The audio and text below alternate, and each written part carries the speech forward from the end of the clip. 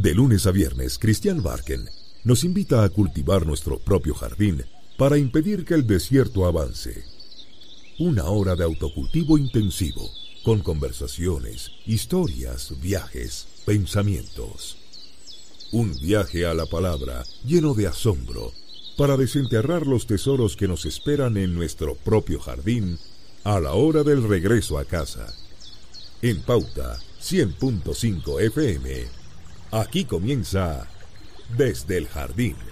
Lo esencial de toda exploración será volver al propio jardín y ver las cosas por primera vez, decía el poeta T.S. Eliot, queridos y queridas radiovidentes, puesto que me están escuchando, pero al escucharme me están viendo, voy regresando en este día jueves de este convulsionado octubre del 2019. Estamos claramente viviendo un momento histórico, algunos dicen un momento histérico, hay distintas miradas e interpretaciones. Eh, por supuesto que todo indica que hay que tratar de traer también racionalidad, pero ¿cuál racionalidad? A la realidad que nos desborda, que está desbordando los cauces institucionales, que está desbordando el sistema democrático, eh, que tiene desbordada la clase política y también a los ciudadanos que estamos desbordados eh, por todos lados. Entonces, en estos días, en vez de quedarme encerrado en mi jardín, he salido salir, salir a la calle, arriesgarme a ir a la calle a mirar y a ver. Porque mi jardín es un lugar idílico, muchos pajaritos, hay un río agradable, por supuesto que es un lugar de refugio cuando hay un estrés pero el país entero está sometido a un estrés social y político tremendo. Es cosa de conversar con la gente. Yo siempre he dicho que soy callejero, soy de calle. Callejero en el sentido que me gusta caminar, soy caminante en primer lugar, no tengo automóvil. Me traslado por los medios públicos de transporte que usa la mayoría de los ciudadanos. Metro, Transantiago, pero sobre todo, bueno, Uber también, taxi, cuando se puede, y a pie. Eh, y eh, en esas conversaciones, bueno, la gente que, que ahora está conversando de nuevo, ¿ah? La gente, en el último tiempo yo veía a la mayoría, sobre todo una generación más millennial, cerrada en sus dispositivos digitales. Poca conversación en el metro, a diferencia, por ejemplo, del tren o metro oval de Valparaíso, donde la gente conversa más. Me muevo entre esas dos ciudades, Santiago y Valparaíso. Pero ahora la gente está conversando más y como que quiere conversar. Te mira te pregunta y uno va escuchando, va recogiendo. Lo primero que quiero decir es que independientemente del análisis que voy a hacer, y yo creo que hay más perplejidad que certezas, he dicho que en la fenomenología existe esta palabra que viene de muy antiguo de los griegos, la palabra epogé, que hay ciertos momentos en que uno debiera como suspender el juicio para dejar que la realidad hable, mirar, observar, analizar, porque corremos el riesgo de equivocarnos eh, de lectura inevitablemente. Es interesante, leo distintos puntos de vista, distintos pensamientos, distintas reflexiones desde distintas áreas, desde economistas, sociólogos, historiadores, eh, opinólogos, etcétera. Eh, y dentro de eso hay una frase que, que cité el otro día.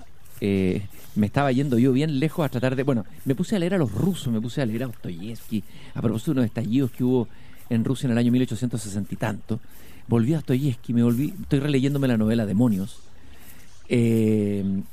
Pero fui mucho más atrás, me fui a Imperio Chino, a la China clásica, a la dinastía Zhou, que vivió una atmósfera de caos y desorden tremendo, y en ese caos había un personaje que era funcionario del gobierno y se llamaba Confucio.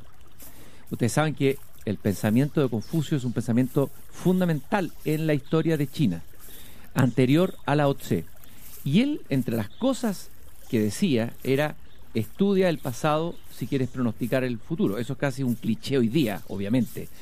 Pero eh, cuando lo dice, lo dice en un contexto, además de un concepto de historia tal vez de los chinos que es distinto a nuestro concepto de historia, puesto que su concepto de tiempo es distinto a nuestro concepto de tiempo. Pero me quedó dando vuelta esa frase, la frase de Confucio, entre otras que cité en el jardín, y pensé he conversado con, eh, cientistas políticos, he conversado con, eh, con economistas, he conversado con filósofos, pero no he conversado, no he tenido una buena conversación en el jardín con historiadores. Y me parece que en Chile tenemos muy buenos historiadores, historiadores serios. Eh, y por lo tanto, me parece que también a ellos tenemos que hacerle preguntas, o por lo menos colocar preguntas, algunas tendrán respuesta, otras no. Y invité a dos historiadores destacados eh, a mi jardín, al Premio Nacional de Historia Gabriel Salazar, profesor de la Universidad de Chile, de la FEN, y también profesor de la Universidad Metropolitana de Ciencias de la Educación. Con Gabriel Salazar conversé hace muchos, muchísimos años en un programa que en paz descanse, que se llamó La Belleza de Pensar. Hace mucho tiempo en la televisión. Debe estar por ahí dando vueltas, me imagino, esa entrevista. También invité al historiador Joaquín Fernandúa, profesor de la Universidad Católica y de la Universidad San Sebastián, columnista del diario El Mercurio y que escribió justamente hace poco una columna sobre eh, el estallido social que está en curso todavía, en absoluto devenir. Estamos dentro de él, estamos dentro de la tempestad. Qué difícil poder hacer buenas lecturas desde la, desde la tempestad. Los estados de ánimo además oscilan, ¿eh? cambian. Eh, uno se despierta pesimista, se acuesta optimista. El país está oscilando y está como una marea anímica muy, muy fuerte que yo pienso que, que, requiere cada vez más, como dije, racionalidad, pero habría que ver qué tipo de racionalidad. Eh, y bueno, y voy llegando a mi jardín y me sale a recibir mi querido amigo el zorzal. Escúchenlo. Ahí está. La verja, hola querido amigo zorzal, la verja del jardín está abierta y significa que ya llegaron probablemente mis invitados. Ahí se escuchan las bandurrias que andan dando vuelta por acá, unas bandurrias sureñas que andan en estos sectores cordilleranos donde está mi jardín. Y efectivamente ahí están sentados eh, Joaquín Fernandoá y Gabriel Salazar, y lo voy a saludar inmediatamente. Hola, buenas tardes Gabriel, buenas tardes Joaquín, muchas gracias por, disculpen por llegar un poco atrasado, porque estaba difícil el tráfico en la ciudad. Muchas gracias por estar aquí en Desde Jardín. ¿Qué tal, Gabriel? Muy buenas tardes. Hola, buenas tardes. Gracias por haber aceptado la invitación. Gracias por la invitación a este jardín. Gracias, Gabriel. Joaquín, también te digo lo mismo. Gracias por estar aquí conmigo. Buenas tardes, Cristian.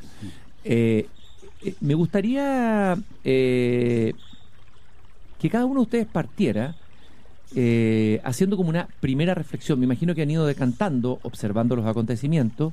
No sé si el historiador puede trabajar también con el presente inmediato, puede interpretarlo, o, o la actitud es replegarse y volver hacia atrás, referencia histórica pero me imagino que hay alguna primera reflexión. De hecho, tú ya escribiste una columna y tú también, me parece que Gabriel, escribiste un texto que no sé, lo leí, que me pareció interesante, que no sé si es a propósito de este estallido o de, otro estallido social.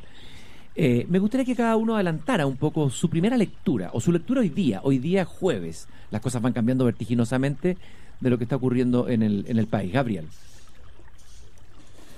Bueno, una reflexión histórica sobre un problema del presente. Como tú sabes, yo soy historiador social. Sí, por supuesto. Y eso implica mirar los acontecimientos, la historia, la política, etcétera, desde abajo hacia arriba, o sea, desde nosotros hacia las grandes estructuras del Estado, del mercado, etcétera. Entonces, y eso hace que uno eh, no necesariamente coincida con los planteamientos de la historia oficial o del conocimiento común de mucha gente que se plantea ¿no es cierto?, como conociendo la verdad de este país, ¿no? Eh, desde, claro, desde ese punto de vista, este acontecimiento que estamos viviendo todavía, que no ha terminado de cerrarse, no es, no es nuevo en nuestra historia, más bien es repetido, casi majaderamente repetido. O sea, estaríamos ante la recurrencia de un evento de estallido social que ya habría ocurrido otras veces en Chile. Exactamente. ¿Ya? Porque de un lado tenemos que este es un reventón social ¿no es cierto?, donde la clase popular, el sector, digamos, más eh, inferior de la clase popular, se ha manifestado como siempre se ha manifestado. Es decir, invadiendo la ciudad, invadiendo el centro de la ciudad, saqueándola y produciendo una sensación de pánico en las autoridades porque se le está escapando el control y la gobernabilidad del sistema en su conjunto. Y esto no es nuevo. ¿eh? Si consideramos la existencia del, del bandolerismo rural en el siglo XIX chileno, Toda la sociedad estuvo constantemente bajo la amenaza del ataque de bandidos. En el siglo XX, las grandes huelgas que traían generalmente el paro de los trabajadores despertaba al bajo pueblo, ahora le llaman vándalos el día de hoy, ¿no es cierto?, que el mismo bajo pueblo de siempre, que sale, aprovecha la oportunidad del desorden institucional, invade el centro, saquea el centro y produce pánico. Eso pasó en 1903, Valparaíso en 1905, Santiago 1949, 1957, etcétera, etcétera. Y hoy día lo mismo. Eso por un lado. Y por otro lado tienes la, explosión ciudadana, te fijas, no necesariamente del bajo pueblo, la explosión ciudadana por el descontento que genera el sistema político vigente. Hay que tomar en cuenta que en Chile las tres constituciones políticas que hemos tenido, 1833, 1925 y 1980, han sido ilegítimas, no las dictó la ciudadanía en una asamblea libre, deliberada, con conocimiento de causa, una asamblea constituyente, sino fueron impuestas por distintos mecanismos que largo explicar.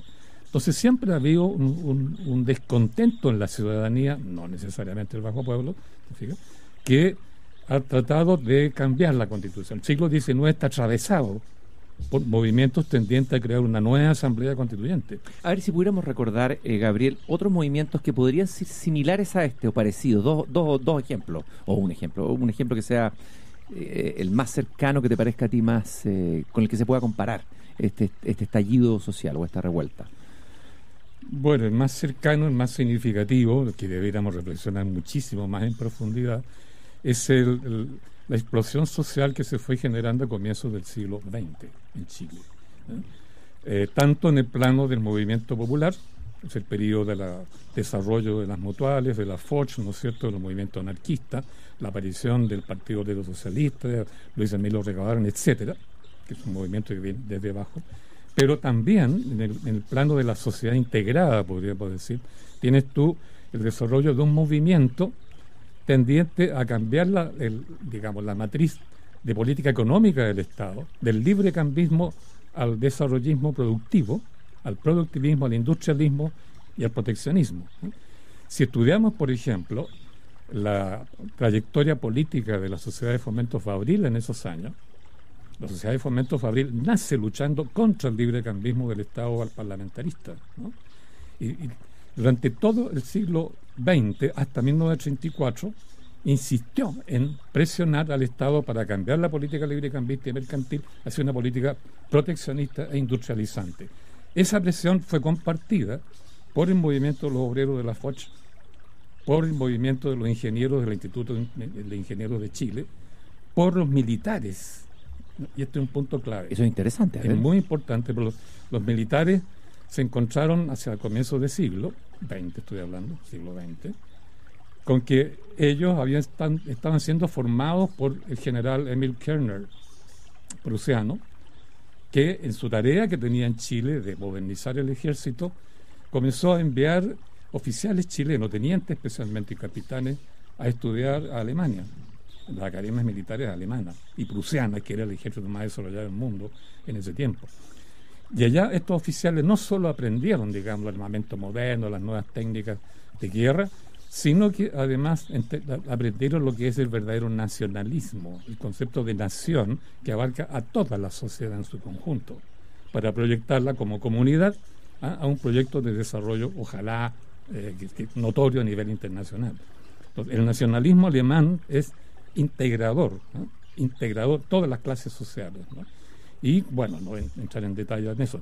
Entonces, los oficiales chilenos aprenden eso allá. Dos cosas, el nacionalismo integral, por otro lado, el profesionalismo. En Chile, el ejército, el ejército que gobernó en el siglo XIX, fue un ejército de origen mercenario. Mm. Fue reclutado por dinero en 1829 por los grandes mercaderes de la época, 1891 por los grandes mm. banqueros de la época, y por tanto un ejército mercenario que da el golpe de Estado, derriba el ejército constitucional, en un caso el, glorioso ejército que ganó la independencia, mm. el segundo caso el glorioso ejército que ganó la guerra del Pacífico, mm. y este ejército mercenario se convierte en el ejército constitucional porque dictan una constitución ilegítima. Y de esa manera el ejército se convirtió en Chile en un ejército protector de la oligarquía que lo había reclutado. Es Gabriel Salazar, historiador, gracias Gabriel, que da su primera mirada, su primera lectura de este estallido social en curso. Joaquín Fernandois, te hago la misma pregunta. En tu columna te haces la pregunta, dice, si trata de una explosión que revela grietas sociales, culturales y hasta patologías de la crisis de la psiquis colectiva, Eh, ¿O se trata de un ansia irresistible que a todos nos acecha de romper las vitrinas, de hacer trizas, platos y copas de cristal, de rebelarnos violentamente por una frustración? Estrépitos de la historia. ¿Cómo, cómo, cómo lees este estrépito de la historia, Sí. A propósito, Confuso, que es una especie de suma de Aristóteles y Santo Tomás para China. ¿eh? Sí, sí, es verdad. Eh, claro, el pasado es importante para, para ver el futuro, pero también eh, hablábamos de Ana Arendt, el, el, ya dijo el pasado ya no ilumina el futuro. Mm. Y, esa frase es tremenda. Eso es, tremendo.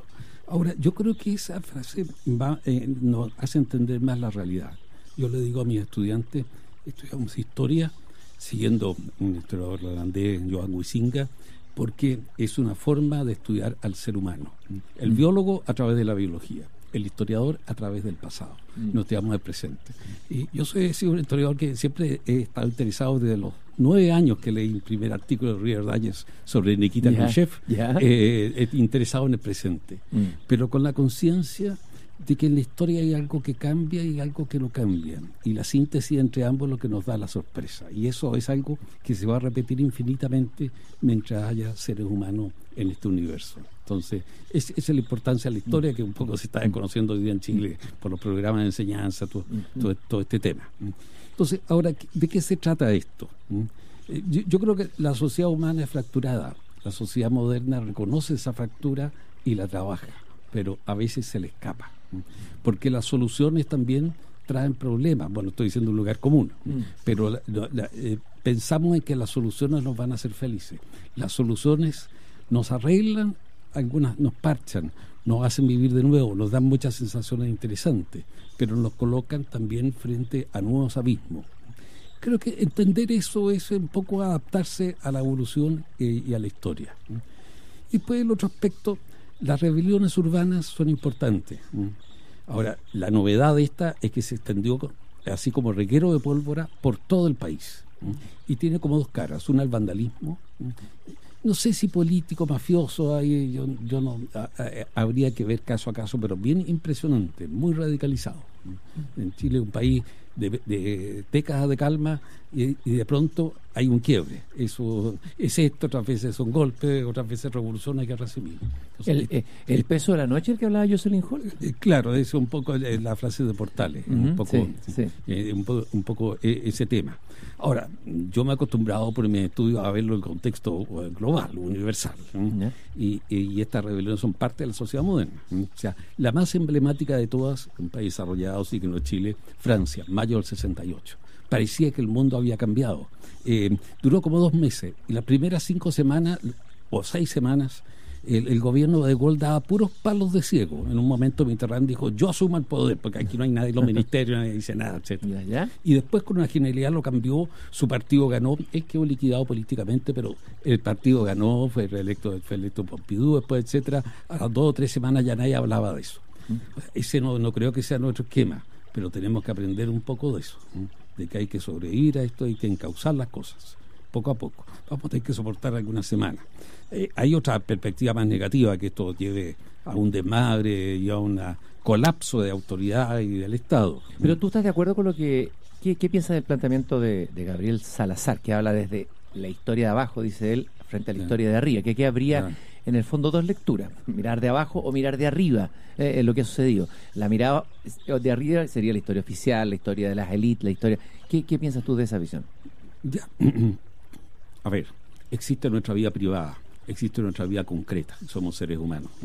Y existen estos otros esquemas en los cuales nos relacionamos, estados, grandes oleadas globales, las inspiraciones religiosas que han venido siempre de figuras o de grupos de figuras, la, la, clase intelectual, el, eh, eh, el, el, esquema de relacionarlo entre los diversos grupos. Cuando la sociedad eran clanes, eran tribus, era un poco más personalizado, pero aún así había una figura general. O sea, nos movemos en esto, entre estos dos planos, por decirlo, entre el Estado y el ciudadano, la, sociedad y las personas. Pero las personas existen por la sociedad y la sociedad por las personas. Mm. El orden de la sociedad abierta, cada uno tiene su horizonte ideal, es que tratar de hacer un equilibrio entre ambas. Con la primacía de la persona, pero entendiendo que tenemos que entendernos entre todos y de que el pacto social viene en fondo un poco de esta idea. eh, la idea del pacto social que está en muchas partes, está inscrito incluso en la tradición hispánica a través del pacto entre los súbitos y, el rey.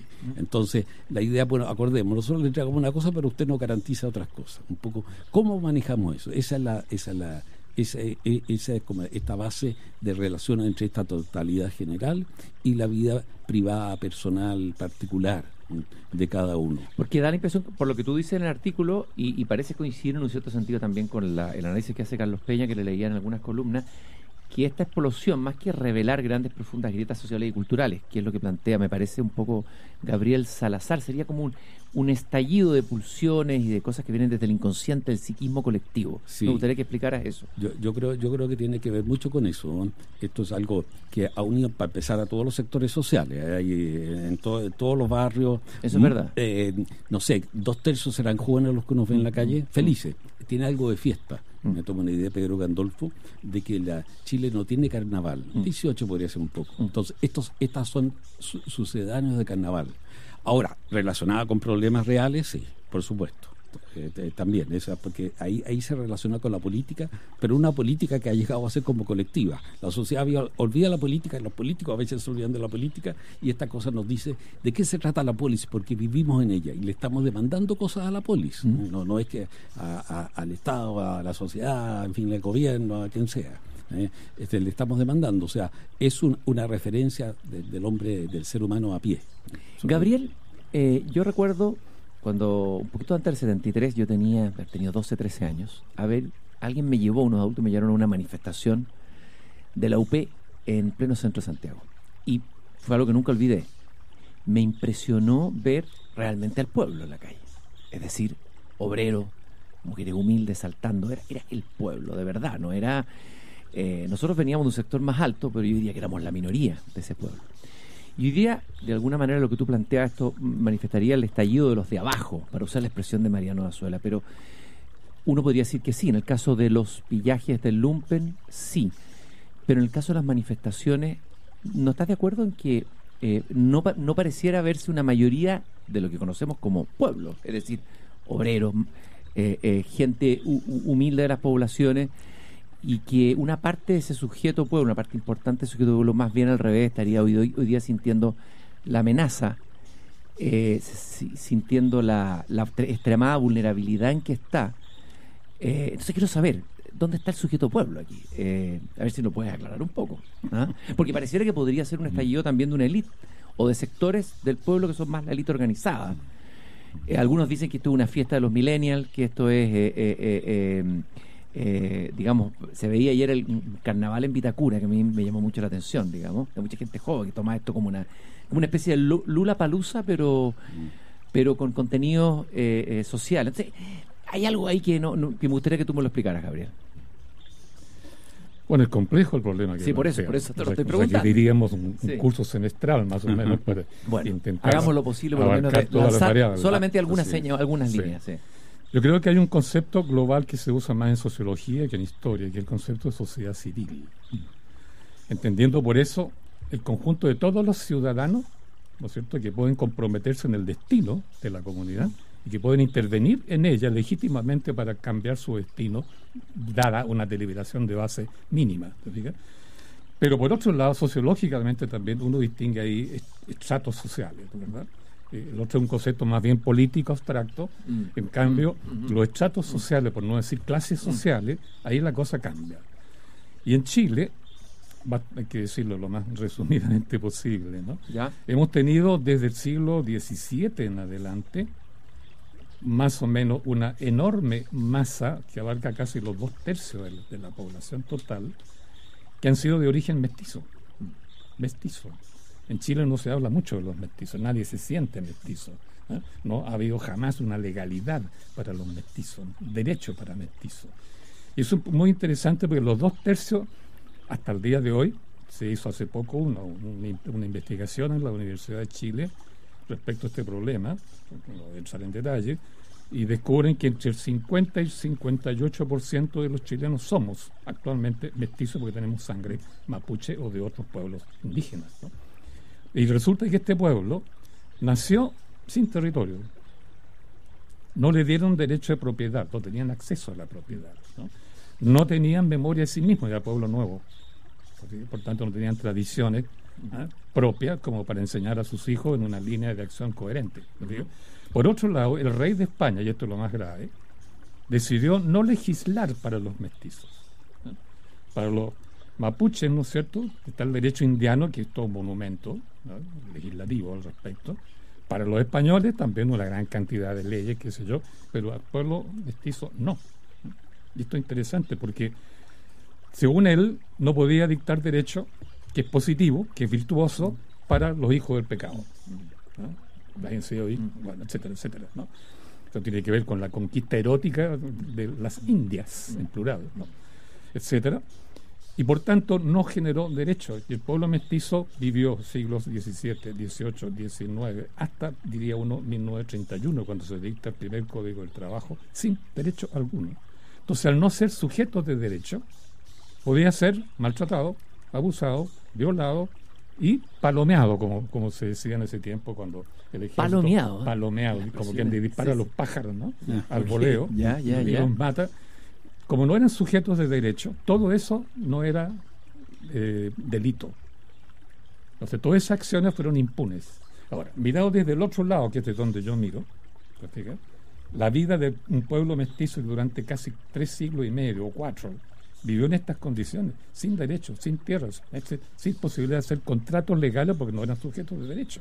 No pudieron vivir en comunidades por lo mismo, no se casaron, multiplicaron sus hijos guachos, ¿no?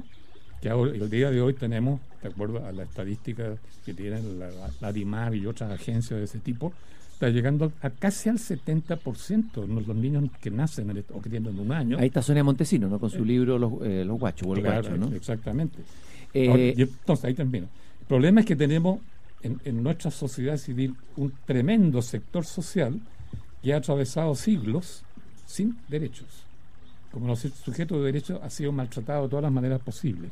Ahora, los psicólogos sociales han demostrado que el daño que se le inflige a una, una generación, digamos, por ejemplo, la, que, la que, digamos, sufrimos la violación de derechos humanos con Pinochet, ese daño que recibe esa generación se transmite a las generaciones siguientes.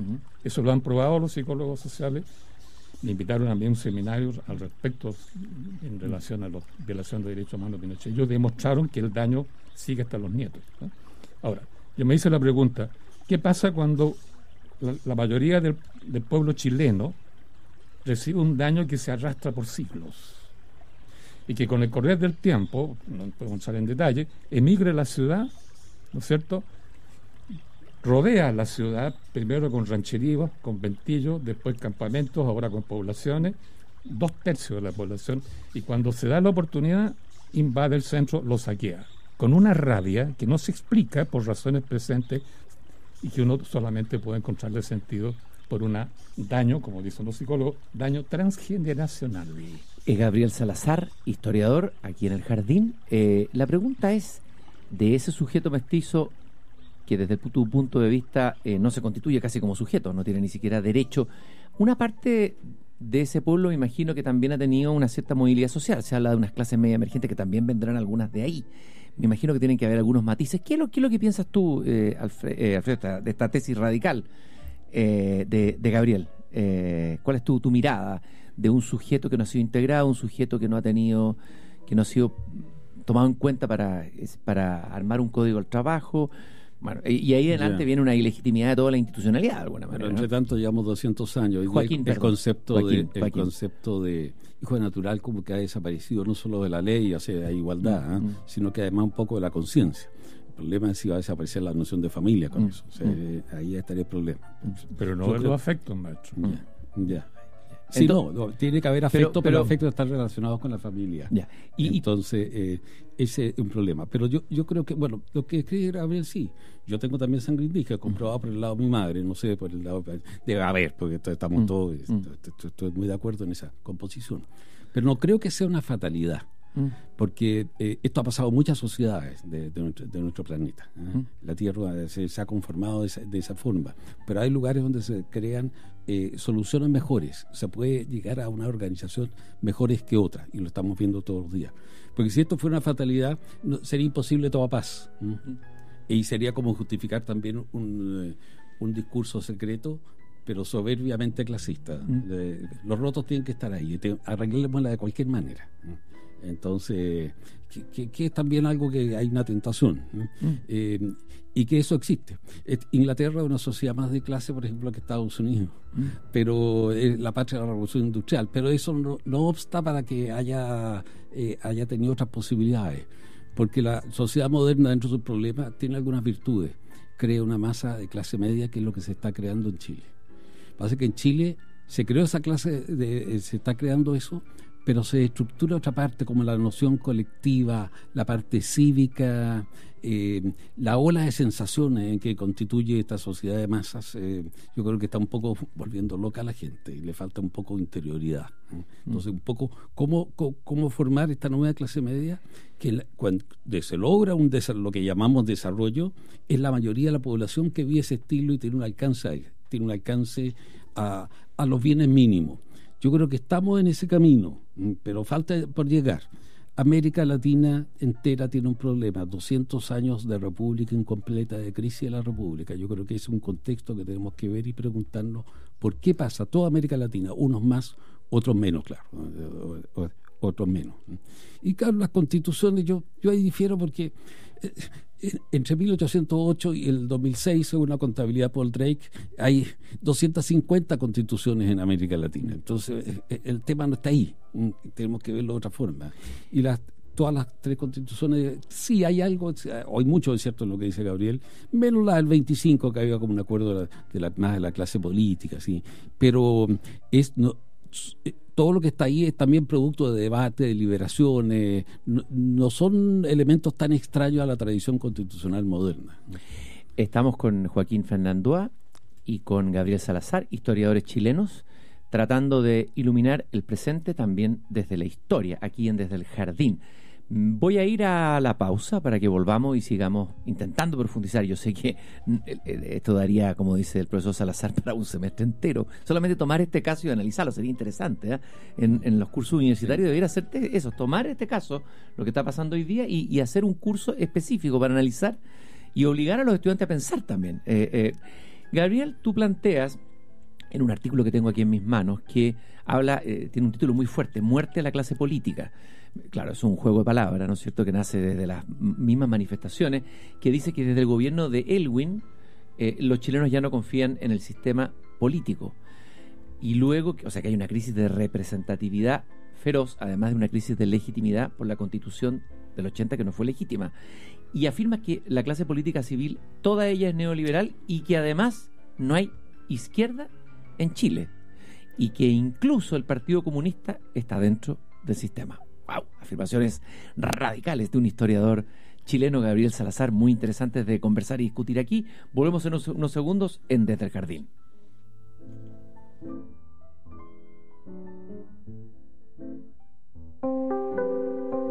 Aerocardal, la empresa de aviación privada más grande y segura de Chile desde hace 30 años volando al servicio del transporte ejecutivo, charter y carga dentro y fuera de nuestro país. Encuentra más información de nuestros vuelos y aeropuerto privado en www.aerocardal.com.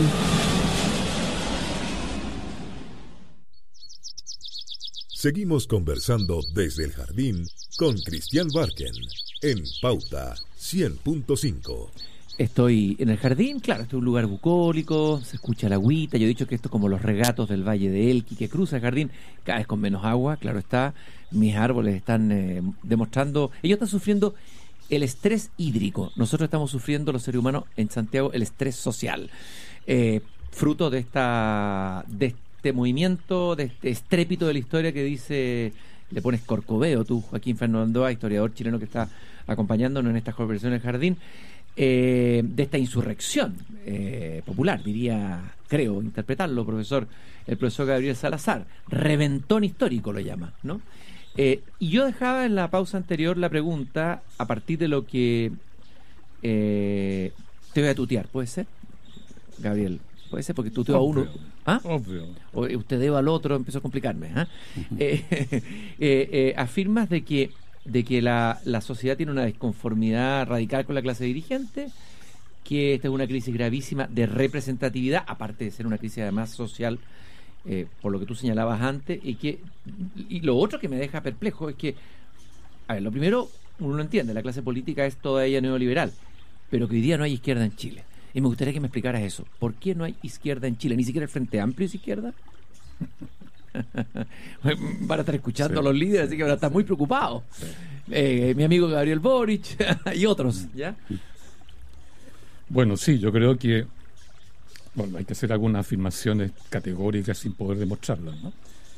Lo primero es que la transición, la llamada transición a la democracia, no fue un acto ciudadano, fue un acuerdo entre políticos chilenos y, y los países socialdemócratas y detrás de eso el gobierno de Ronald Reagan, que es donde se planificó la necesidad por parte de Estados Unidos, una necesidad eh, estratégica de, salvar el modelo neoliberal chileno, ¿no es cierto? Y para salvarlo era necesario sacar a Pinochet.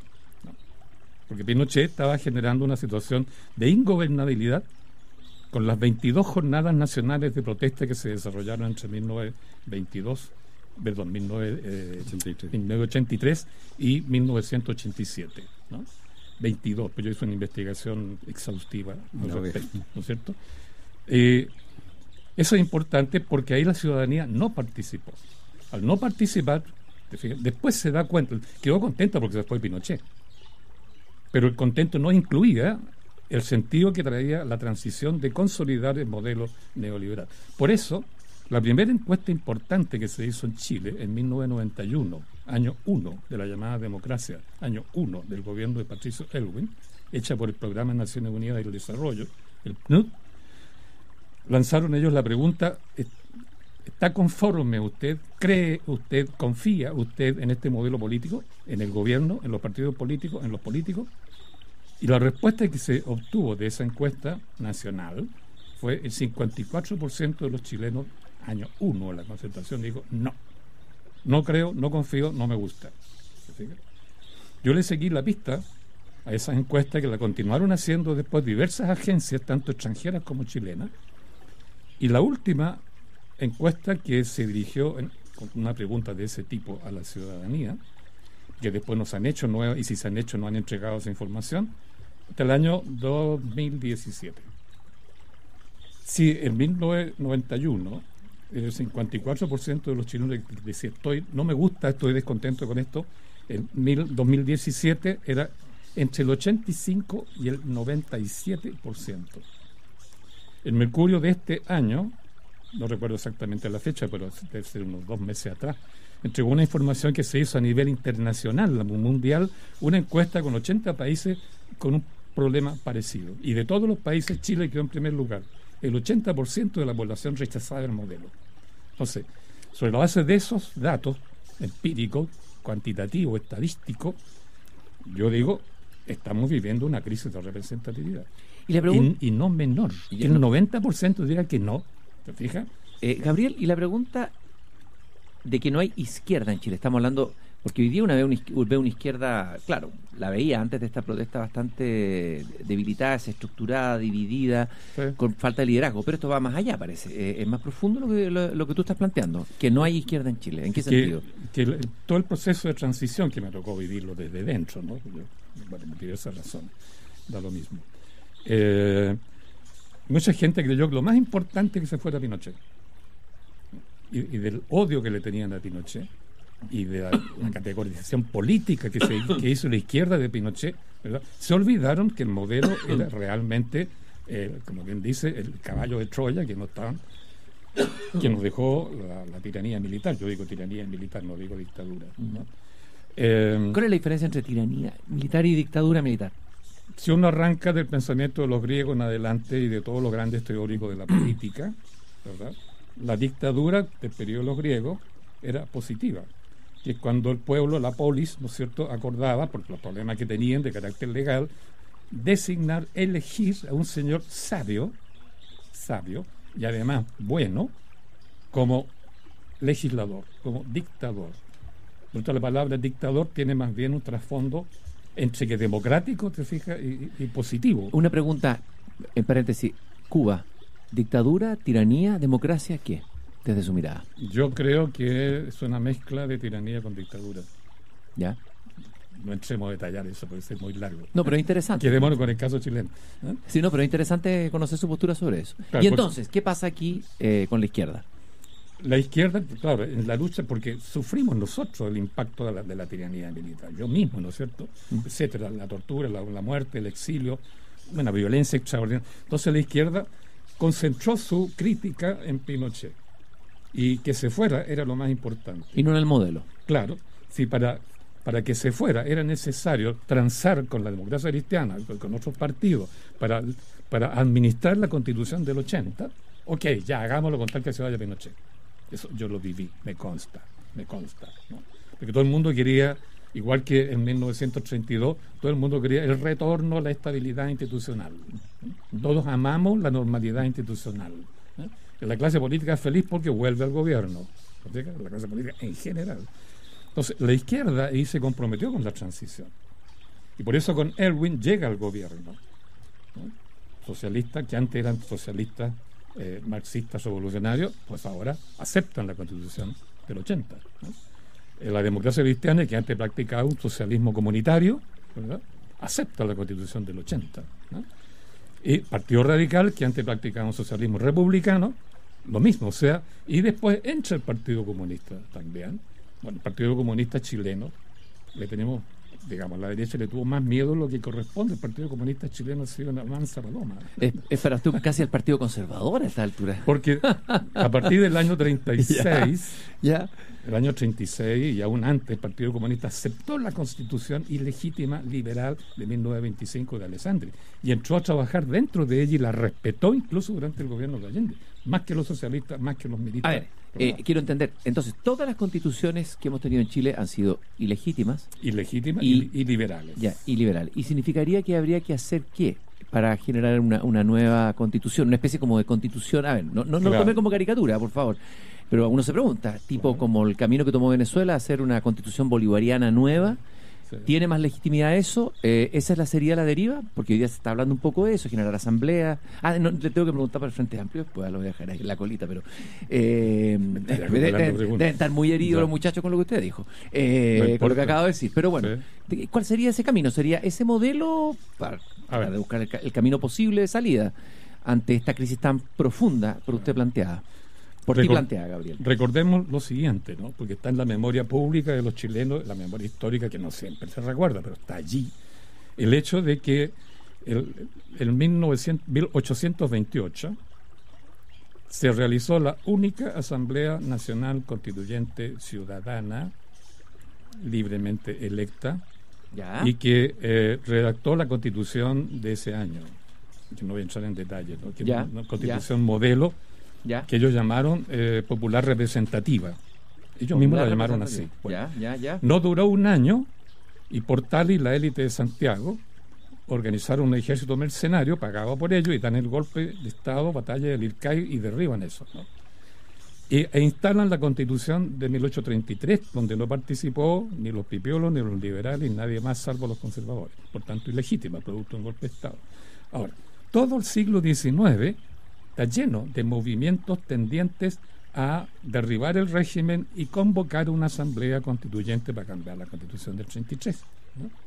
Se llegó al extremo en 1859 que se organizó un ejército formal para dar un golpe de Estado en el, norte minero, en Copiapó en concreto, y llamar una asamblea constituyente. Fue derrotado, por supuesto, y se acabó el proyecto. Pero los jóvenes liberales siguieron pensando en la asamblea constituyente.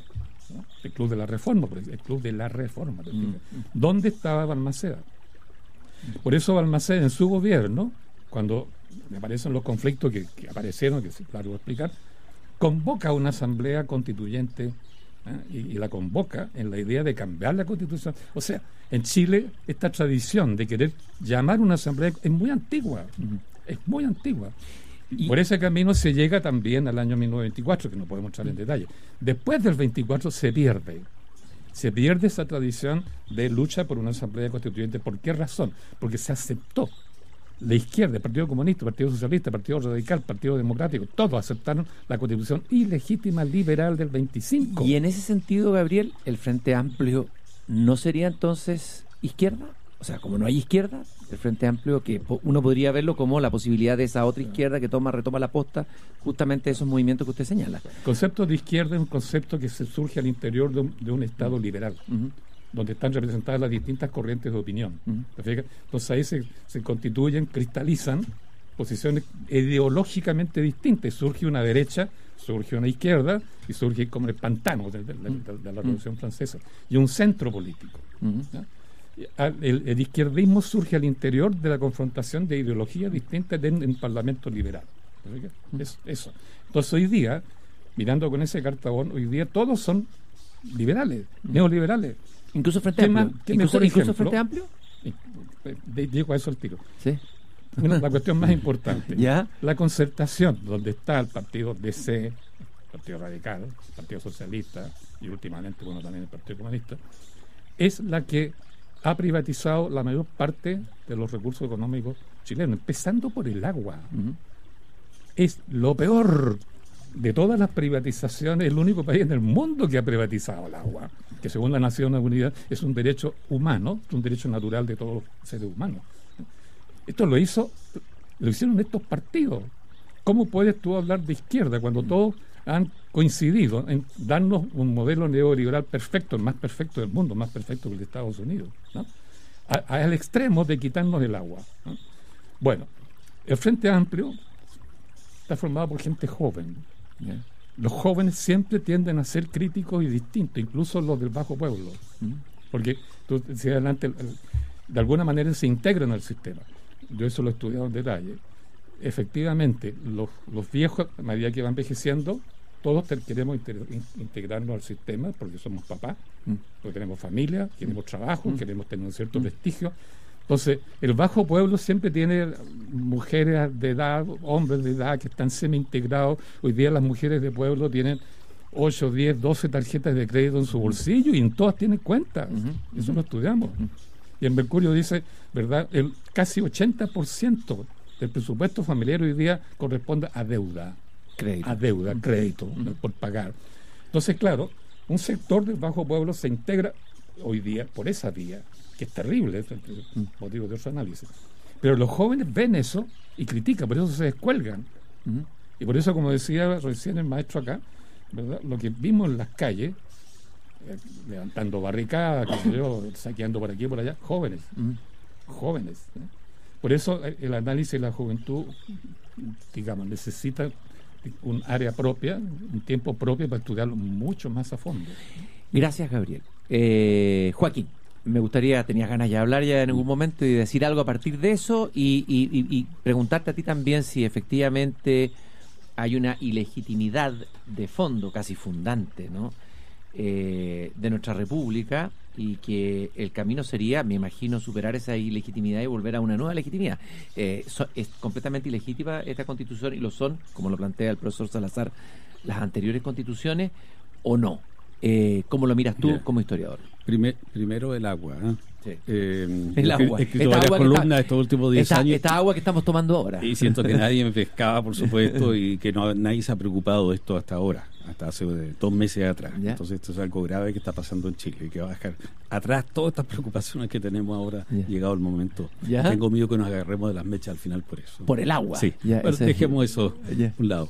No, yo creo que eh, Chile como América Latina, a diversos grados, con diversos niveles de éxito, eh, siguió el camino de la sociedad moderna, donde la, democracia como un fenómeno político es como la, que ha tenido la principal legitimidad, teniendo esto alzas y bajas también está. La historia de la democracia es la historia de sus crisis. En parte porque habla más de la crisis. En los sistemas autoritarios, totalitarios, no, no se habla, no hay crisis, está todo bien pero la democracia tiene que hablar de la crisis y a veces exagerarla. Entonces, eh, eso eh, eh, la ha limitado y nos ha pasado algo, yo insisto eso. Es cierto que en Europa también, los modelos europeos también tuvieron esa crisis. Japón, en, Alemania, solo está sentada desde el 49. Entonces, la, la, República de Weimar fue una gran democracia, pero con altos niveles de crisis, sabemos, en términos más políticos, culturales, a veces que económicos.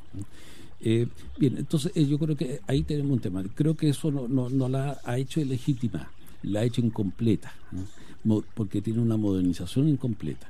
La democracia no puede crear el desarrollo económico, pero tiene que estar acompañada al desarrollo económico, porque la discusión sobre la igualdad es lejos natural.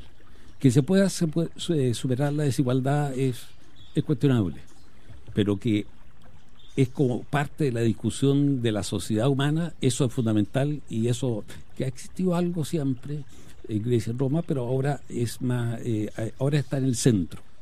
El día en que deje de estar en el centro, yo creo que ahí ya no va a haber democracia, va a ser un mundo postdemocrático, no, no sé qué va a pasar ahí. Pero eso tenemos que acostumbrarnos que es así y que tiene que responderse un poco en ese sentido. Eh, porque aquí todos han subido su nivel de vida, pero claro, la desigualdad se ha, aumentado, pero no a un nivel que, se dice, ¿eh?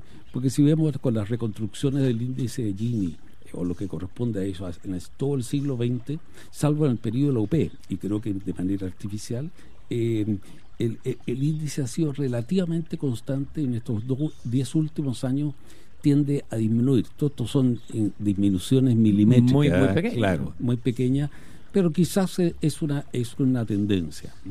Hay otros elementos culturales, de actitudes sociales. Tocqueville insistía mucho en que una democracia tiene costumbres democráticas. Y eso a veces, en eso nuestros países latinoamericanos indudablemente han fallado. Un poco por el tema étnico, aunque tenemos el conflicto en Chile es menor que en otras partes. Pero, pero que está también latente, tiene que construir ese eh, elemento.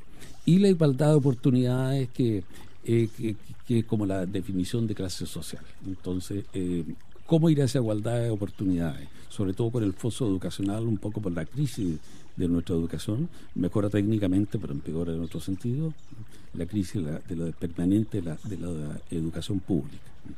Pero yo, yo creo que la, ahí, yo difiero Gabriel en el sentido que lo que pasó en los años 80, primero cierto, a clase política, con una paz, una tendencia a la paz, al acuerdo ya basta de estos conflictos. Y, no sé, yo lo respiraba en los 80, el deseo de paz.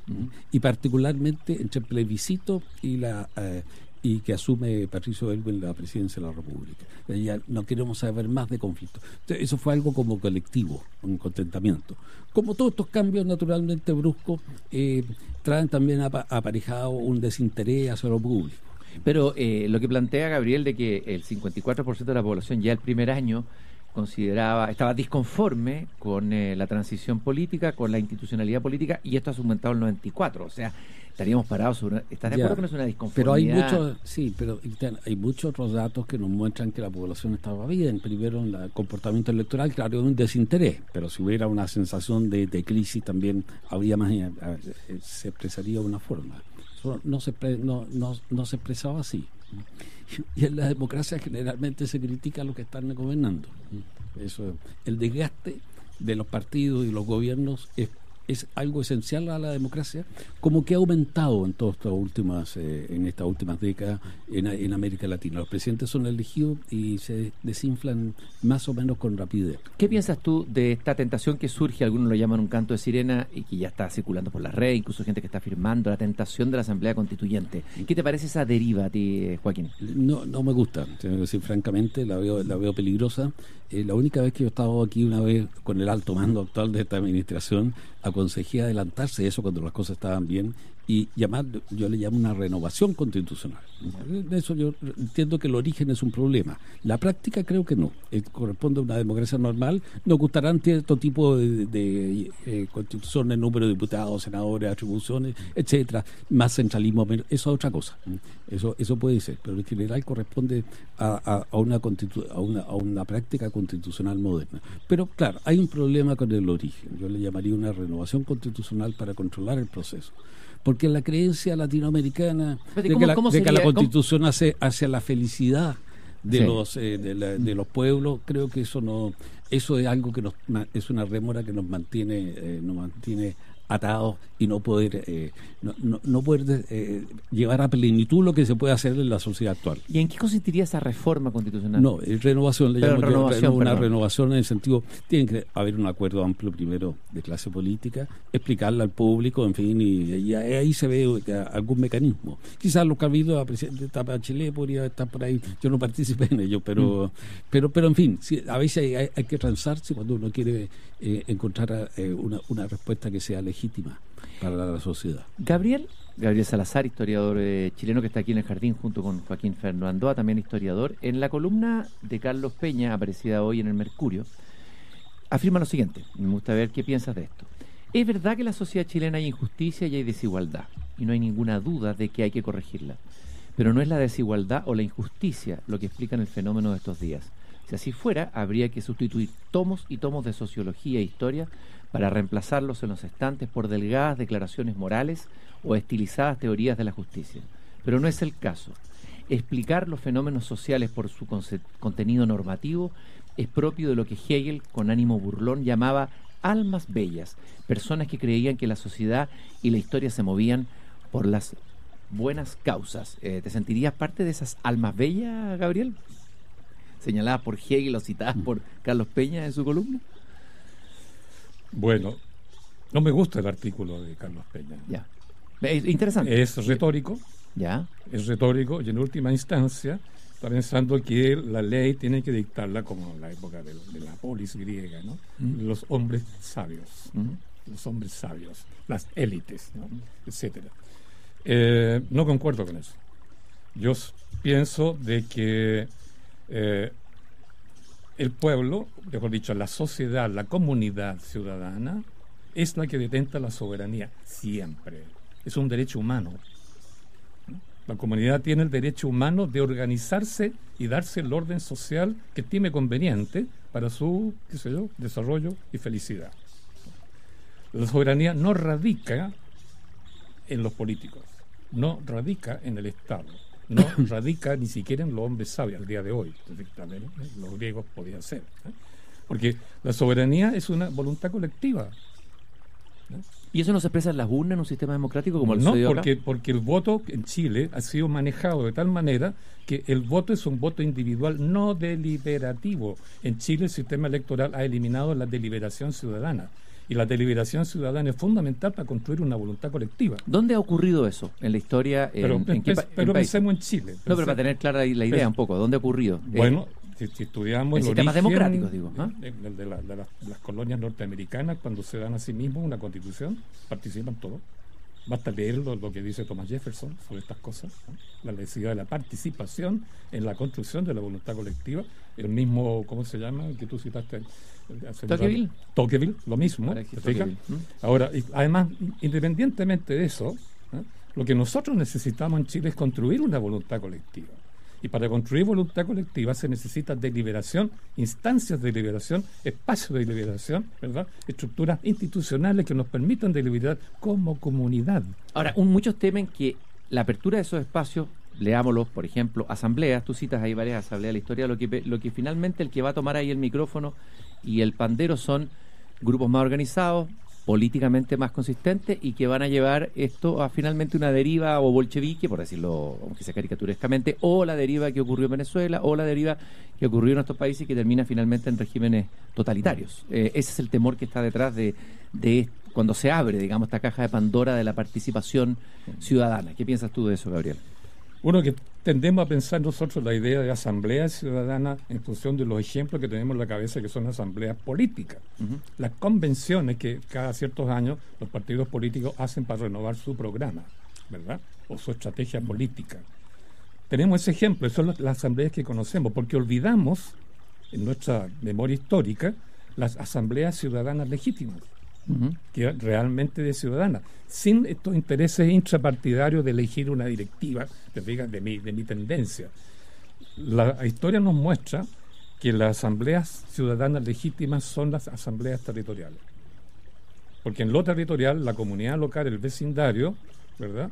Los problemas y todos los perciben, hasta los niños. Entonces no hay divisionismo ideológico. Ni intereses, porque justamente los intereses privados no surgen porque la comunidad va a defender el interés de toda la comunidad. Por eso no, no conocemos en Chile la importancia de las asambleas territoriales, conocemos la importancia de la asamblea, las convenciones políticas de los partidos, que es otro cuento totalmente distinto. Yo diría que el ejemplo más perfecto que tenemos en Chile de una asamblea revolucionaria, tal como debe ser, no lo han dado en Chile ni, siquiera los, bueno, los ciudadanos en cierta época, pero no los políticos. El ejemplo lo han dado los militares. Porque cuando se dio el golpe de septiembre del 24, se organizó allí una asamblea militar, que le pusieron un nombre que despista, la Junta Militar. Y era una asamblea militar donde se abolieron los grados y la jerarquía. Ahí todos eran militares deliberando, violando la Constitución, deliberando.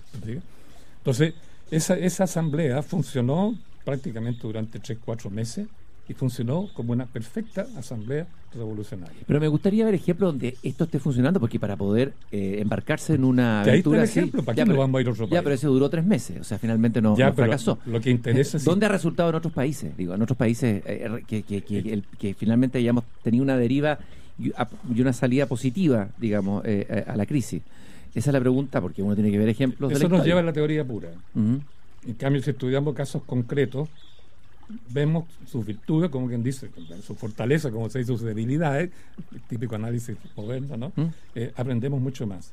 Porque esa asamblea, te fijas, hizo lo que debe hacer toda asamblea revolucionaria. Definió los objetivos, definió las acciones, designó las personas que iban a ejecutar el mandato soberano de la asamblea.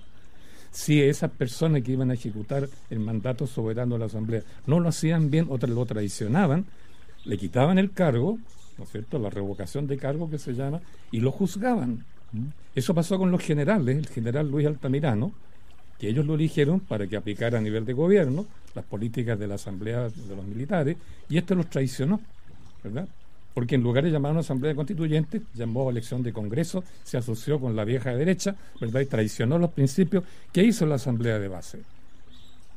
Le quitó el cargo, lo juzgó, incluso lo iban a fusilar, ¿no? A Altamirano. Y por eso dieron el golpe de Estado del 23 de enero del año 25. Em, eh, eh, hasta ahí todo bien. Y recordemos que dieron el golpe de Estado y enseguida lanzan un manifiesto al país. No vamos a gobernar, no vamos a ejercer ni caudillaje ni dictadura.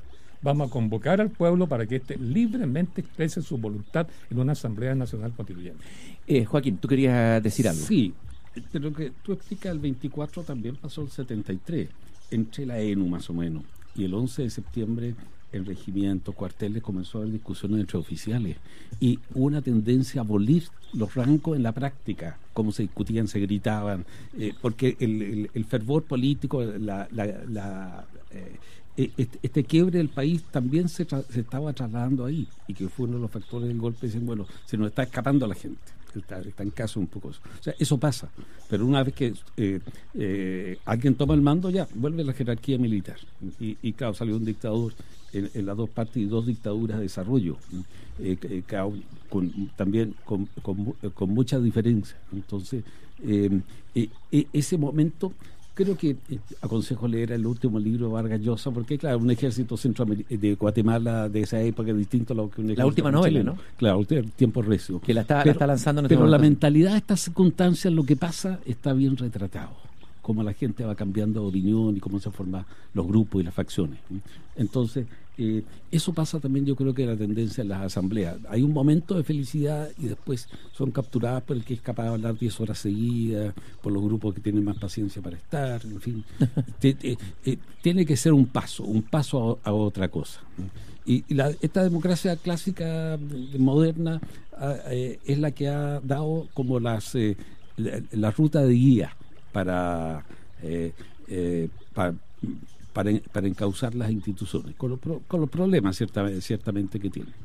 Tú citaste al comienzo, eh, Joaquina, Ana Arendt. Me parece que ahí uno puede encontrar reflexiones interesantes sobre el tema del poder. Me parece que ella dice por ahí, tiene un texto sobre la violencia.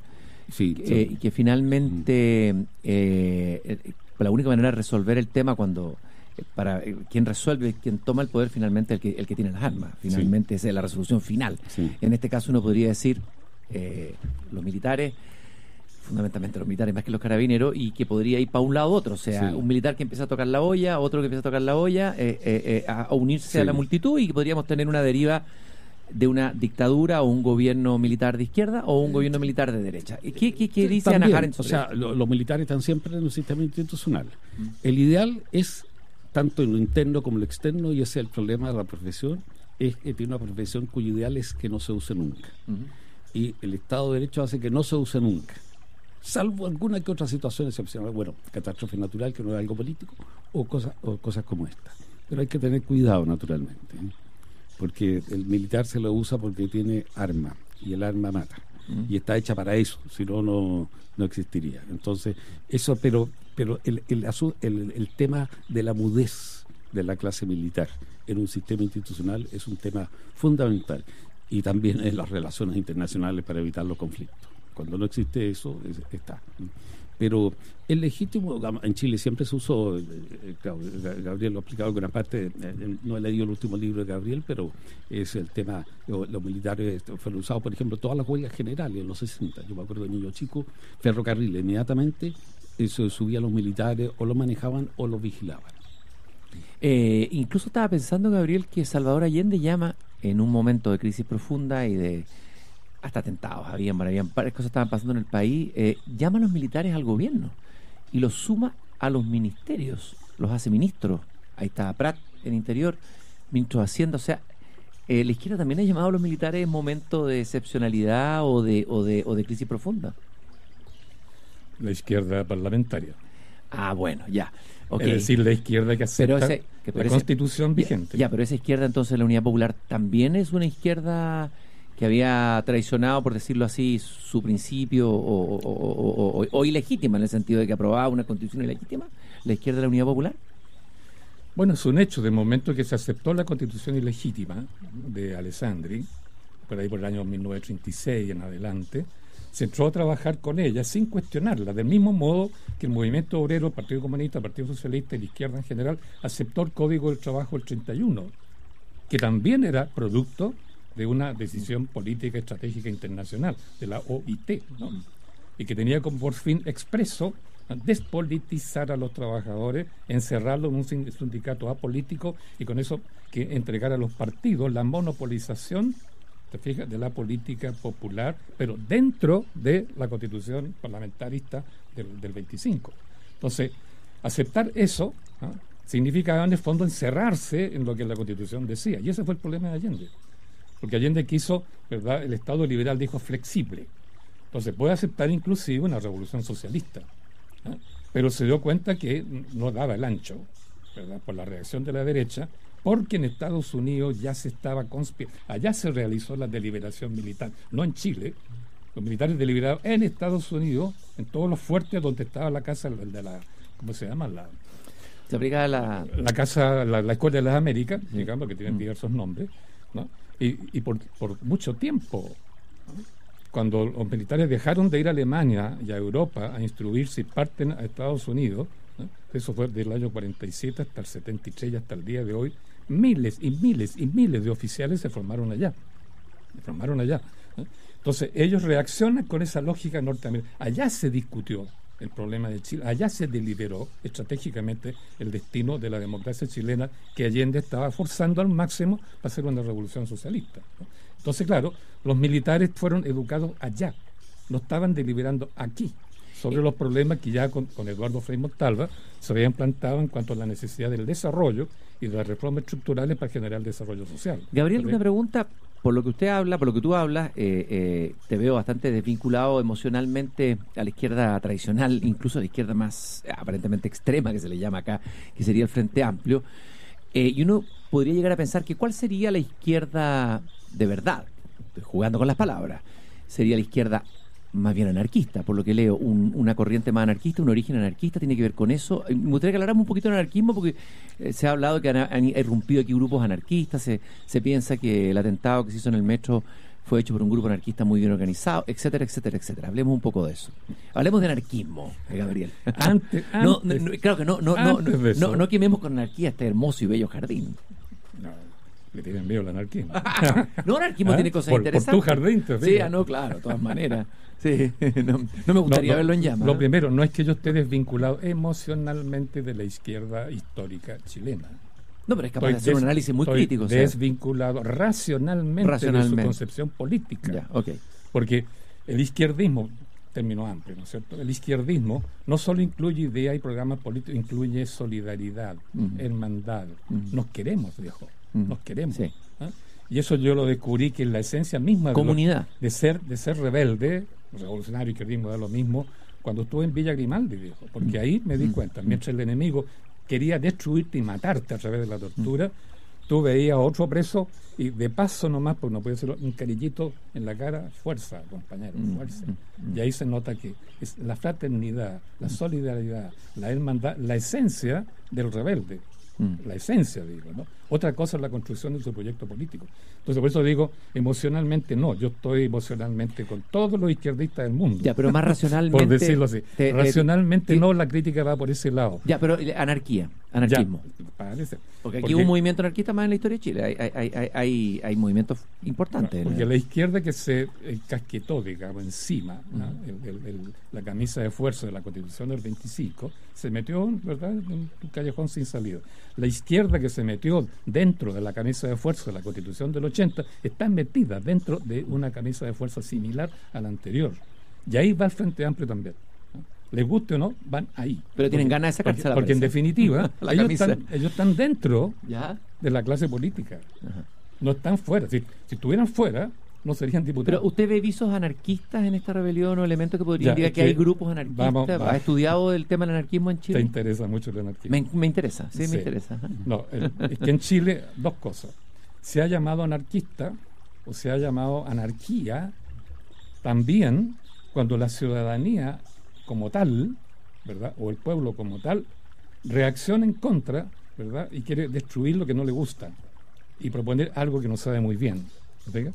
A eso lo han llamado, por eso que el periodo 1823, 1830 o 29 le llaman anarquía, que es justo cuando los ciudadanos mandaron cambiar a O'Higgins y quisieron ellos dictar la constitución. Entonces, ahí la élite no gobernó. Y a eso lo llamaron anarquía. Después, entre 1918-19 y el año 32, de nuevo, anarquía, que es justo cuando la ciudadanía quiso también eh, de practicar soberanía ¿no? y construir Estado.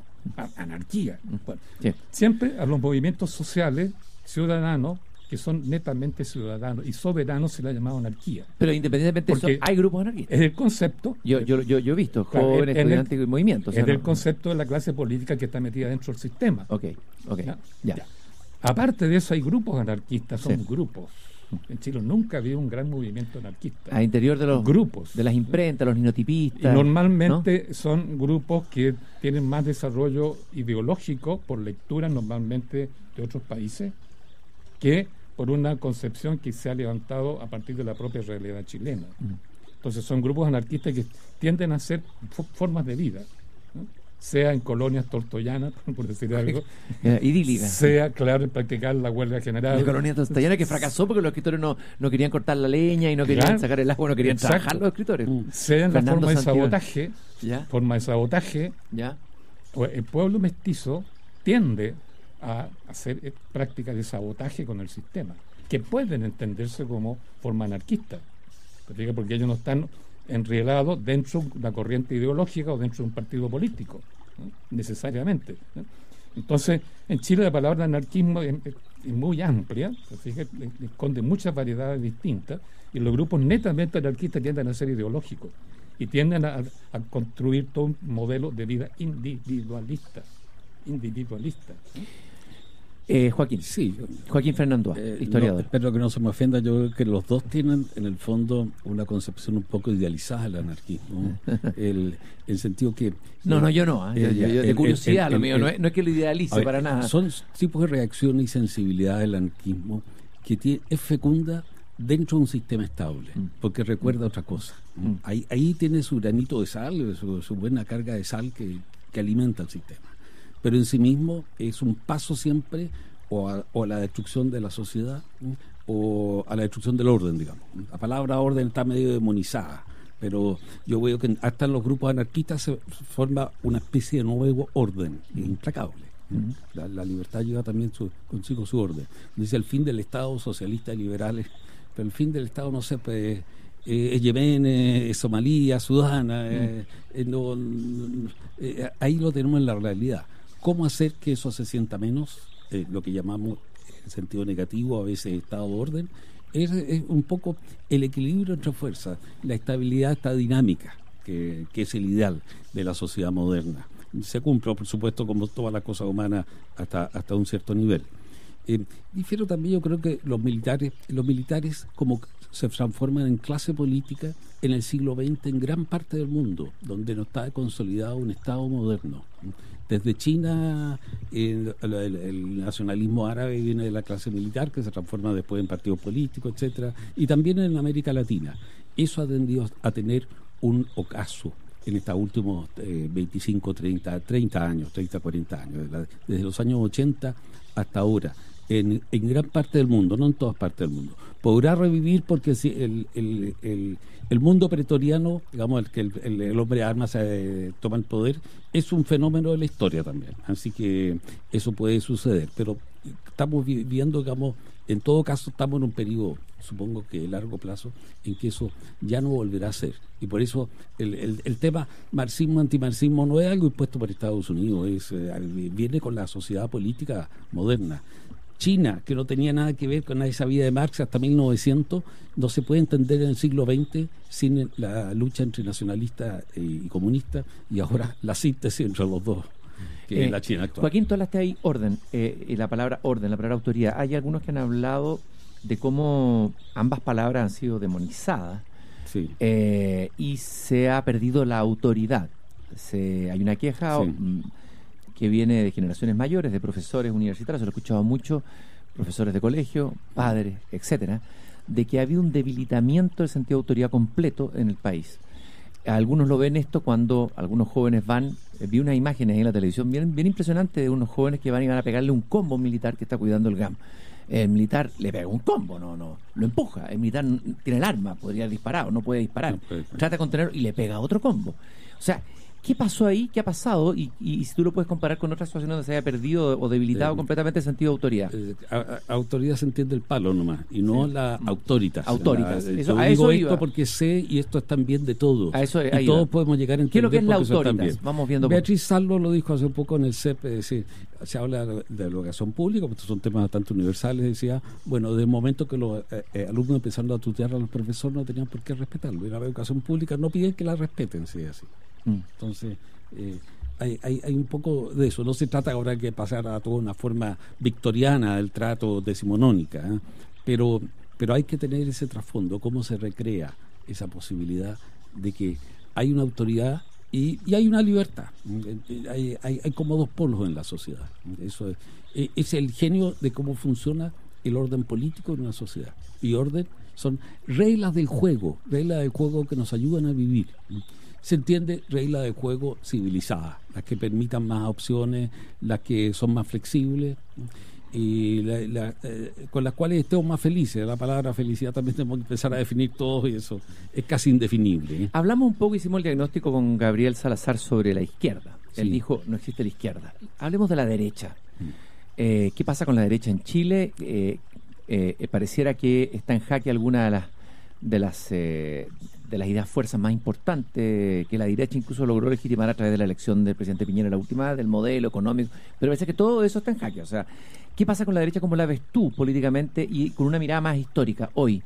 ¿Y qué, va, ¿Y qué va a pasar y por dónde va la deriva de eso? Algo extraño con la derecha, ¿ah? porque ha sido como eh, eh, siempre con perfiles bajos en muchas instancias, eh, como siempre al borde del colapso, mm, eufórico depresiva.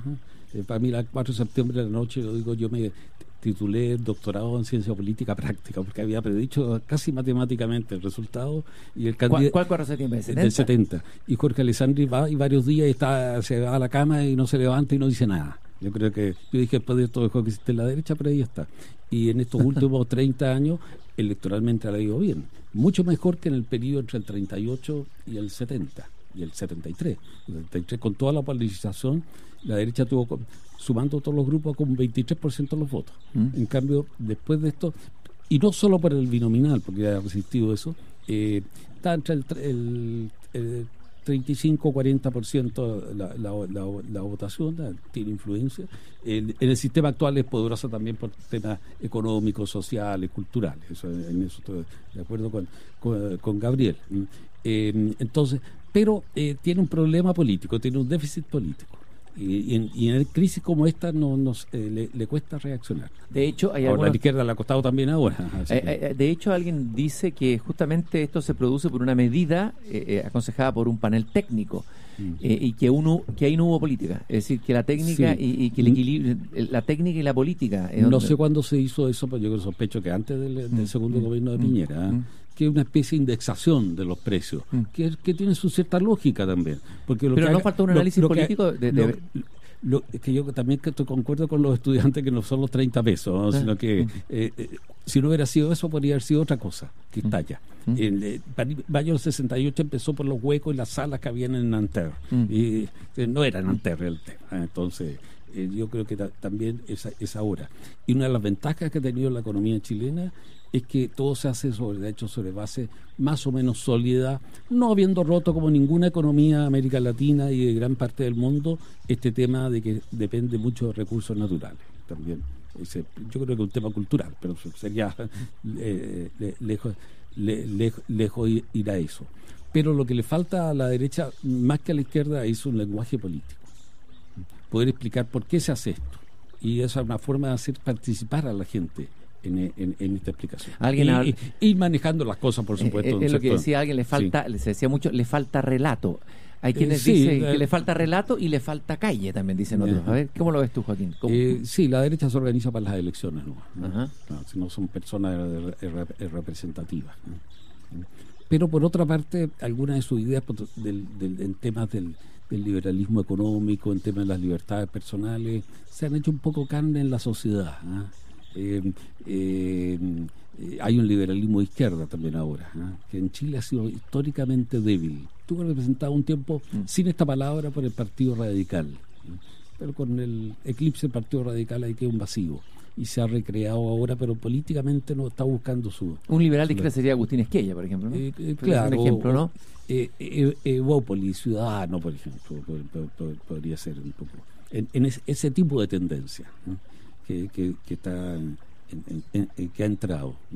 Podemos decir que algo no liberal, pero sí como libertario, eh, todo este mundo monarquista, Lola Palusa para mí como el ejemplo de eso. La sociedad debe consistir nada más que en esto. Yo creo que es un error mirarlo así, me, me, me, aterra un poco. Pero eh, dentro de una totalidad es parte, es parte legítima. Dijiste me aterra, pero de, recién dijiste, bueno, esto va a pasar, hay que mirarlo históricamente, este estallido tiene su... Y luego vamos a volver a un cierto caos. ¿Cómo lo ves? A ver, o, de, ojalá pase eso. Ya, pero ya, ojalá, pero ¿cómo lo ves? A ver, de verdad, ¿qué es lo que sientes hoy? Y mirando todos los elementos, tratando de tener un análisis desde tu, desde tu perspectiva. Yeah.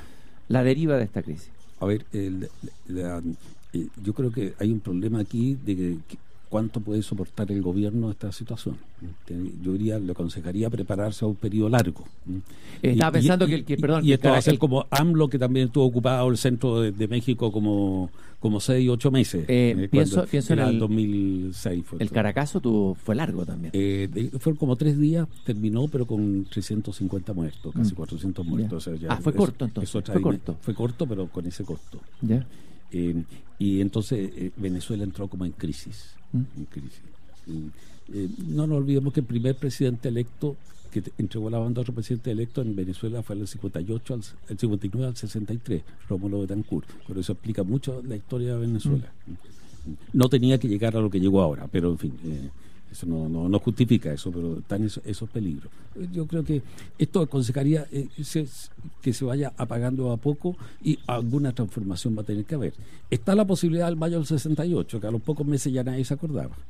Y los eh, del 68, si lo digo francés va a ser tan mal pronunciado que prefiero no decirlo, pero son ahora parte de una élite, y ya por edad ya están dejando el paso, pero son parte de una élite mmm, liberal, yo diría más de derecha que de izquierda. ¿no?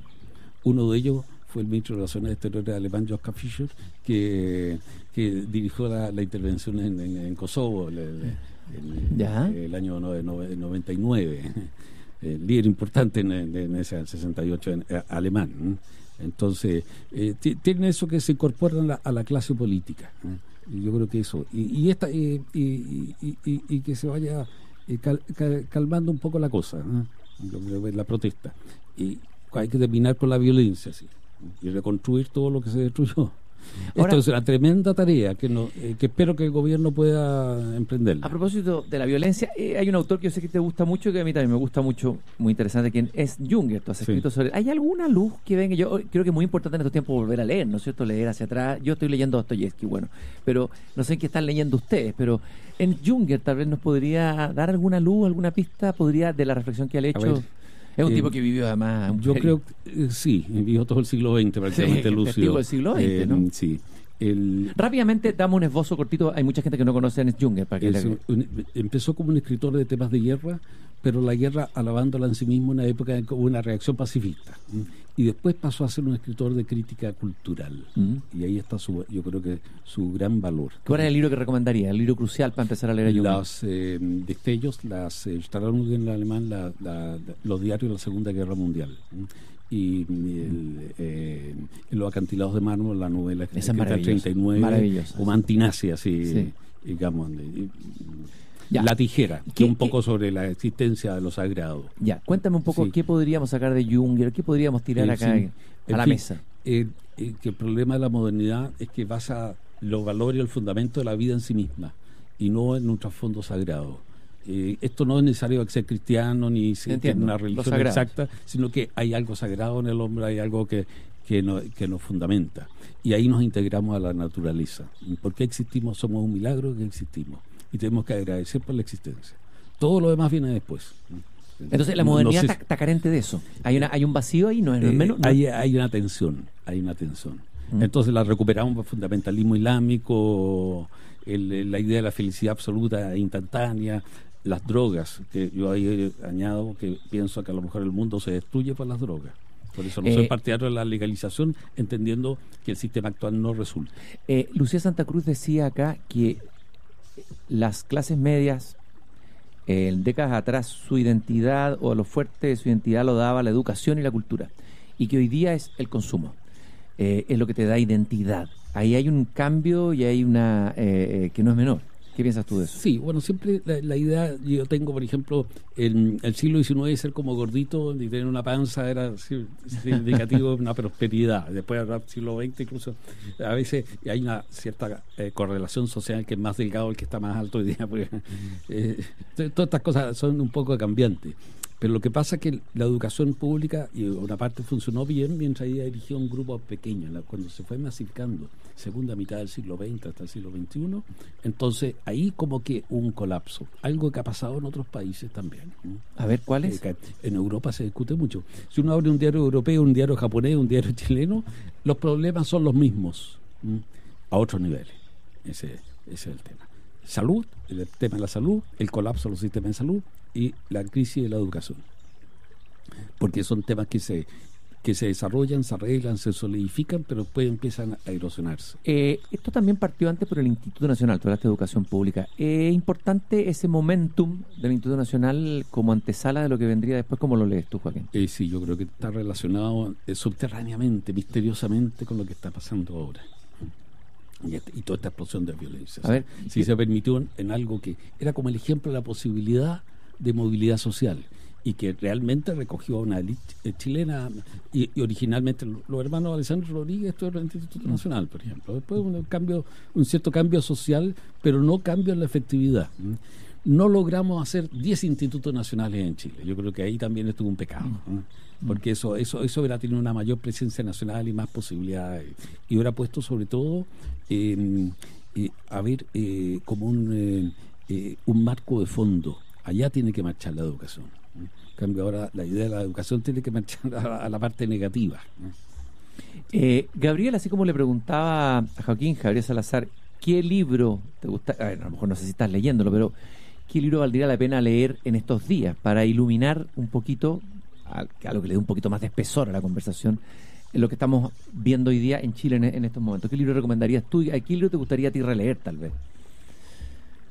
De qué autor o de qué... Si queremos hablar de autores extranjeros, ¿Ya? para entendernos nosotros, ¿no? yo recomendaría leer de nuevo o releer y estudiar más a fondo el, la autora que ustedes citaron hace un rato, ¿no? Anna Arendt. Ana Arendt. ¿Por qué? A ver, cuéntame. ¿Qué le releerías de ella? Porque ahí lo importante de ella es que eh, plantea una definición distinta de poder. Porque hasta ella, más o menos, eh, el poder se definía fundamentalmente como una, una cualidad que está instalada dentro del sistema, o como la cualidad que algunos confunden, ¿verdad?, de que ejerce dominio sobre otros por X razón. Porque tiene un arma en la mano, porque es más grande, lo que es fuerza. La gracia del planteamiento de, de Anna Arendt es que distinguió lo que es fuerza, propiamente tal, de lo que es poder. La fuerza siempre va acompañada de un elemento disuasivo, de un garrote, como habría dicho Portales. ¿no? De un palo. Un garrote, Un garrote, ¿verdad? palo. Que, o que eres más grande y abusas del chico. Siempre se pensó que el poder era una línea, eh, una flecha vertical, ¿no? de dominio de arriba hacia abajo. Por eso es que nosotros, los- la gente de, digamos, de izquierda, digo, emocional, en Izquierda sentido, emocional. pa- pa no entrar Izquierda en emocional y huérfano, porque Claro. sí, muy representado por lo que dijiste. Claro, por eso es que en los años 40-50 en Chile el poder se entendía como que estaba allá, Mm. arriba, lo tenía otro. Era cuestión de organizarse, ir para allá, tomar el poder y traerlo para acá. Mm. Como si el poder fuera una cosa. Una cosa y lo tiene otro.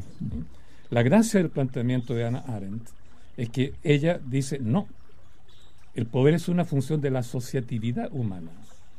¿no? Donde quiera que nos asociamos, nos unimos, formamos comunidad, ahí está potencialmente el poder. Poder no es, por tanto, el ejercicio de la fuerza por cualquier medio, por cualquier instrumento, sino la capacidad nuestra para unirnos, deliberar, tomar decisiones, ¿te fijas? Y en función de esta asociatividad, ejercer el control de nuestra propia historia. ¿no? Que no se escape de control la historia. ¿no? Que la historia no se nos convierta, como decía Angels, ¿no? para citar a otros autores raros, en, en tirano de nosotros mismos. Porque justamente la necesidad de ejer- ejercer poder desde la comunidad es evitar que la historia se escape de control. Como se escapó de control con la Primera Guerra Mundial, la crisis del 30, la Segunda Guerra Mundial, etcétera. ¿Y ahora nos está escapando control la historia? Yo creo que a los chilenos se le está escapando de control un poquitito la historia. Ya se le escapó hace tiempo ya al gobierno, a este gobierno. ¿no? Porque evidentemente la asociatividad no está acompañando al gobierno. En Chile hay un movimiento de asociatividad horizontal que está supliendo a la vieja asociatividad vertical de partido político, de sindicato, de, carrera, ¿verdad? Eh, de movilidad social vertical, etcétera. Entonces ahora tenemos una enorme efervescencia en asociatividad horizontal, no estatutaria. Eso lo comprobó también el PRUD con otra investigación. Hoy día es la red, la red social, ¿verdad? red, la se red. arman y se desarman, ¿ah?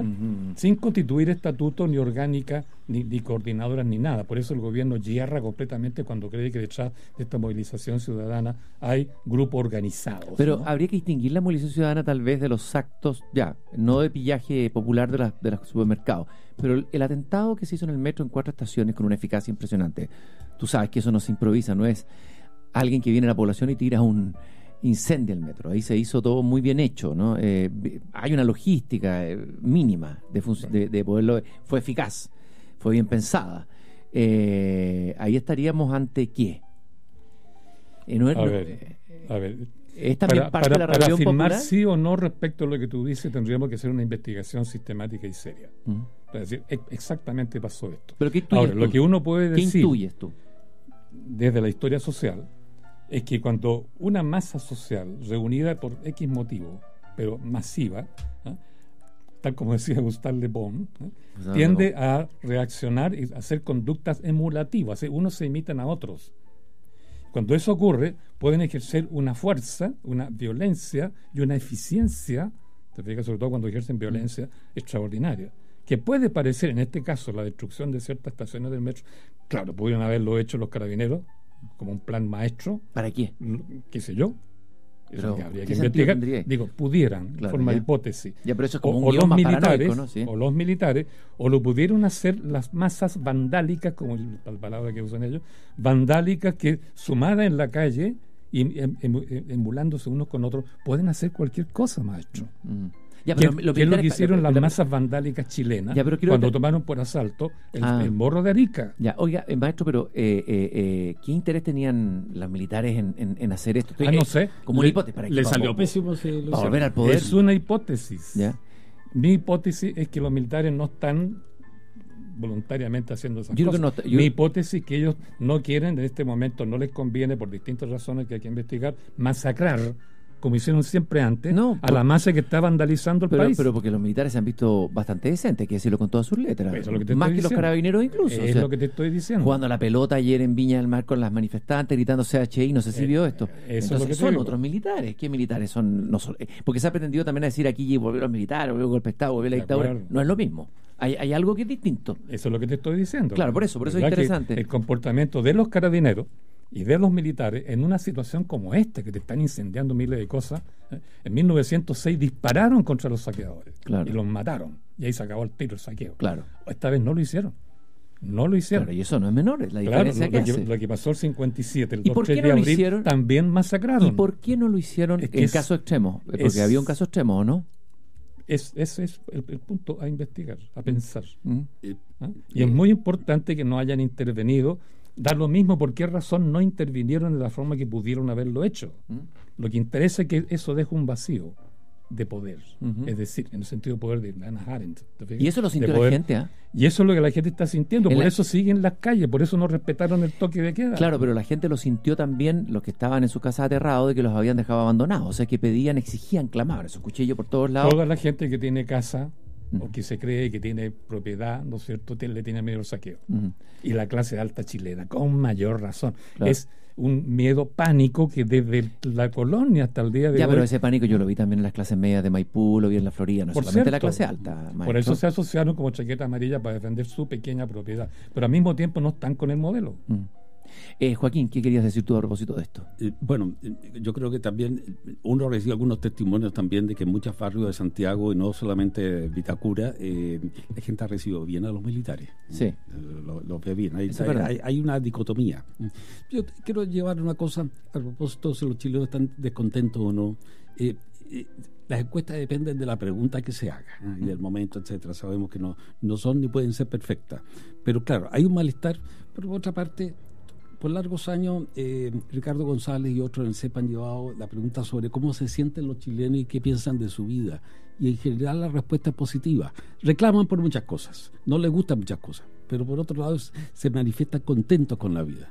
Yo creo que hay que sumar o poner como en un mismo cuerpo estas dos almas del chileno actual. Es como una esquizofrenia. ¿eh? Claro, sí, sí. Eh, es que nos extraña en la sociedad humana. Yo insisto que estamos en Chile por lo tanto laboratorios de la sociedad humana. Entonces, el, eso, eh, esas dos cosas las, tenemos que poner en un balance. ¿Y, cómo alcanzar a, que la política entienda ese balance? Quiero agradecer a Joaquín Fernandoa, a Gabriel Salazar, destacados historiadores chilenos, que realmente nos han hecho un regalo en el sentido de darle una reflexión, un cierto espesor, que no es fácil en estos días y menos en los medios de comunicación, eh, y, levantar un poquito la conversación de nuevo, porque ya la conversación está bastante pobre antes de que ocurriera esto. La política, Sobre todo en el Parlamento. En el Parlamento atrapado casi por la farándula, la liviandad, la levedad, lo light eh, que ha imperado estos años es dramático y también puede tener ser alguna de las causas de esto y volver a recuperar el pensamiento, la reflexión, la discusión con visiones tan distintas como la de ustedes con este mm. nivel de profundidad y de respeto mutuo, me parece que es muy esperanzador, para mí por lo menos, eh, que me he dedicado estos años a tratar de que florezca la que Eduardo Anquita llamó la belleza de pensar. Creo que hemos tenido una suerte de belleza de pensar hoy día esta tarde, por eso el programa se prolongó. Nos dimos cuenta que aquí había algo interesante que compartir. Muchas gracias por haber estado en el jardín. Eh, bueno, Gabriel Salazar no, no se incendió el jardín, se incendió de ideas, pero no se incendió de nada más. Eh, tal vez en algún momento vamos a requerir, voy a requerir, voy a usar de su buena voluntad para seguir conversando. Muchas gracias por haber estado aquí. Y gracias a ambos estar con ustedes. Y sobre todo, maestro, rieguen las plantas, porque si no, se, van a secar. ¿no? Qué sequía, Dios mío. Hoy día es jueves, esto avanza vertiginosamente. Todo lo sólido, dijo alguien alguna vez por ahí, que todos conocemos, se desvanece en el aire. ¿Qué pasará mañana? No sabemos. Estamos abiertos y el jardín seguirá abierto, por lo menos a la reflexión. Muchas gracias. Nos encontramos de nuevo mañana aquí en Desde el Jardín.